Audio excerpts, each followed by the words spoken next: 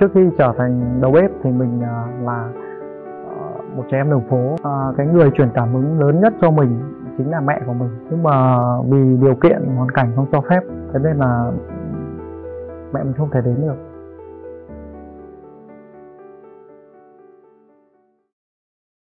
Cái công việc của mình thì với à, mẹ biết là mình mẹ của vợ truyền mình cảm hứng rất là nhiều luôn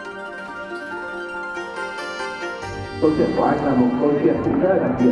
Mọi câu chuyện về Tết thì cũng ảnh hưởng bởi từ những người mẹ rất là nhiều. Thì là hôm nay thì cùng với cái mát tất cả đấy thì bọn em muốn đưa lên nói chung là bọn em muốn biến cái khoảnh khắc này trở thành khoảnh khắc vô giá đối với anh ấy. Thì là hy vọng là có thể đem lại cho anh một chút niềm bất ngờ